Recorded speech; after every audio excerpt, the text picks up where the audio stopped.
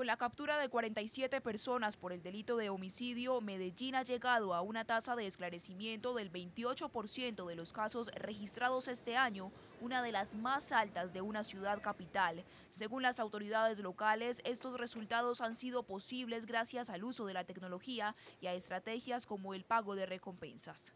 Actividades que van de la mano de la estrategia de seguridad ciudadana, con la articulación de los cuadrantes, el modelo nacional de vigilancia comunitaria por cuadrantes, con el uso de la tecnología de los diferentes antecedentes en línea, ha permitido la captura el día de hoy de algunos de estos homicidas.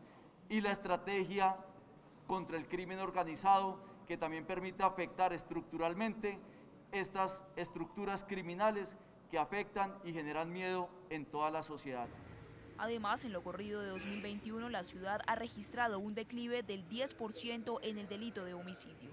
La reducción del homicidio nos ha permitido en el año anterior una reducción del 38%, la reducción más alta en toda la historia de la ciudad de Medellín, y en este año una tendencia nuevamente a la, reducción con el menos 10%.